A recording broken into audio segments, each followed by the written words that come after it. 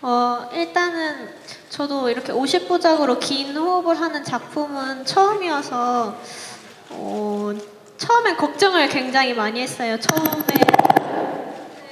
그 초반에 에너지를 다 쓸까봐. 근데 지금 이제, 이제 여러 선배님들하고 선생님들하고 같이 하면서 그런 걸 차근차근 배워가고 있는 중이고요.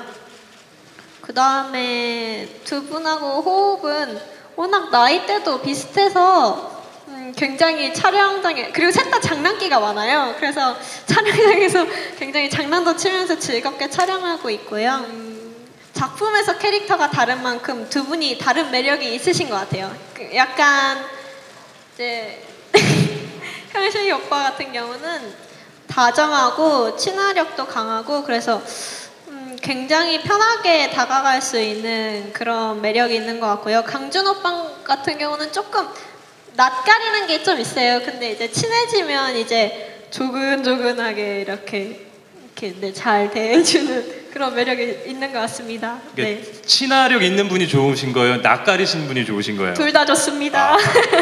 아, 네. 박형 씨, 예, 말씀해 주세요. 뭐 할 말씀 있으시면 네.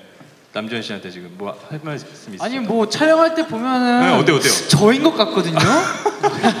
아 여기서 벌써 네. 네. 네. 서강주 씨 어떻게 생각하시는 거예요? 네. 어, 아 저는 네. 잘 모르겠습니다. 어 역시 낯가리시네요. 네. 네, 전 낯을 좀 많이. 알겠습니다.